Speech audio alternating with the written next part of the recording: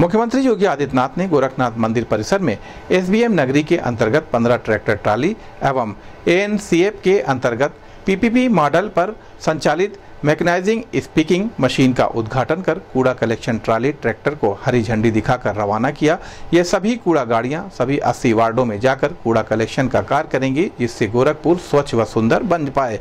शासन का हमेशा प्राथमिकता रही है कि प्रदेश के सभी महानगरों को स्वच्छ व सुंदर बनाया जाए, जिसके लिए वह प्रदेश के सभी महानगरों में कूड़ा गाड़ियों की संख्या को बढ़ा रही है, जिससे कि डोर टू डोर कूड़ा कलेक्शन का कार्य सभी वार्डों में आसानी से हो सके।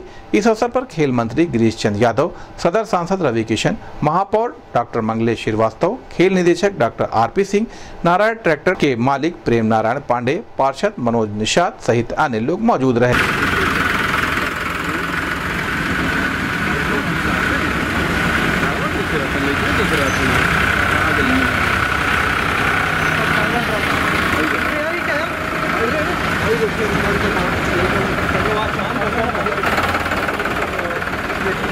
Thank you.